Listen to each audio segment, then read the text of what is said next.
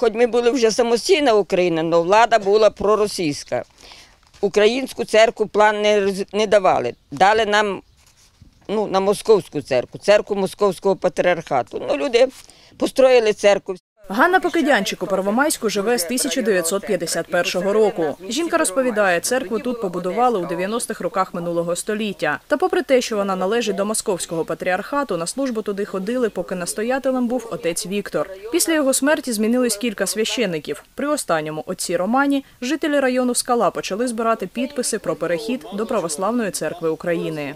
Він зразу українські рушники познімав, все на свій лад переробив. Сіда цей батюшка Роман говорить: церква українська, православна. Я кажу, батюшка, зачем ви обманюєте нас?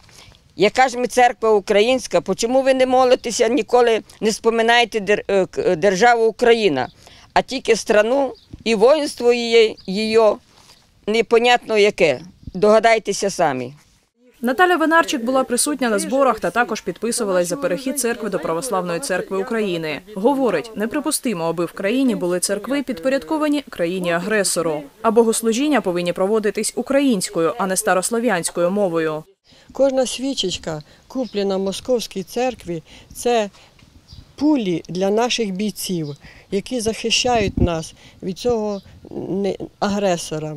І у нас є мова, і ми повинні її любити і говорити, молитися на українській рідній мові. Це наше право.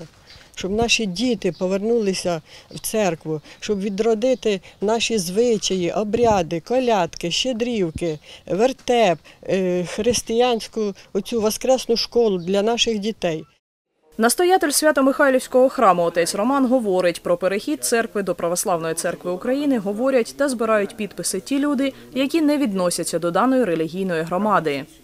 люди, які поза межами нашої релігійної громади, тобто збирають якісь територіальні збори.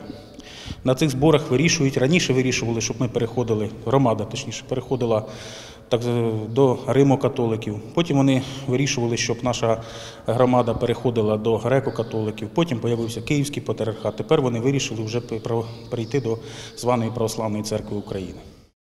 Вперше про перехід на зборах говорили у 2018 році, після отримання Україною Томосу. Тоді зібрали понад 200 підписів, та представники поїхали до управління культури, національностей та релігії Миколаївської облдержадміністрації, аби зареєструвати протоколи зібрань та оформити все юридично.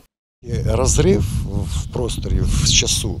Пройшло два роки і незрозуміла ситуація. От ми вирішили е, знову ж підтримати прихожан і наших жителів нашого мікрорайону, щоб ми знову відновили ці всі питання для розгляду, щоб вже люди якось отримали певну якусь відповідь. Вони втомилися вже чекати, вони хочуть отримати якусь певну відповідь.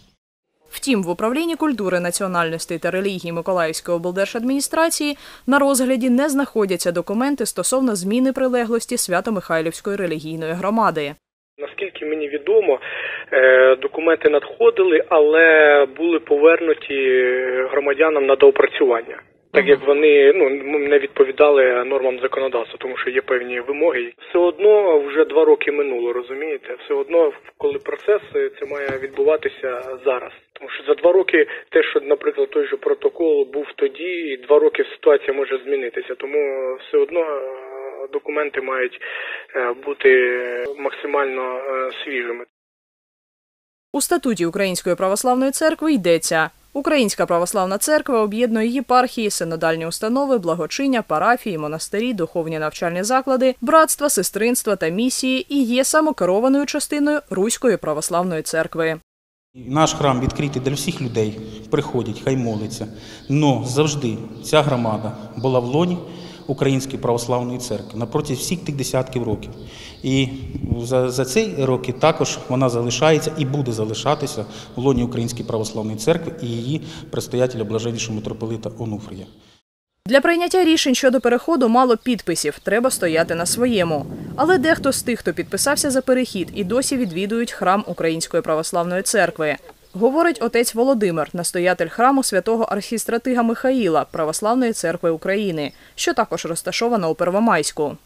Можна сказати, служба все те саме, тільки там на церковнослов'янський або старослов'янський, нас на український раз. По-другому, ми маємо свого предстоятеля церкви Блаженнішої Епіфанії, вони згадують предстоятеля церкви е, Московського патріарха Кирила. Два. Друге, люди там не чують. Я, я не був на цій службі, але те, що мені люди казали, що люди там не чують, щоб молилися за українських воїнів, захисників батьківщини. В нашій церкві постійно це відбувається. Жителі району Скала вже зібрали понад сотню підписів та звертатимуться до управління знову, аби перехід до Православної церкви України відбувся. Валентина Гурова, Василь Філімон. Новини на Суспільному. Миколаївщина.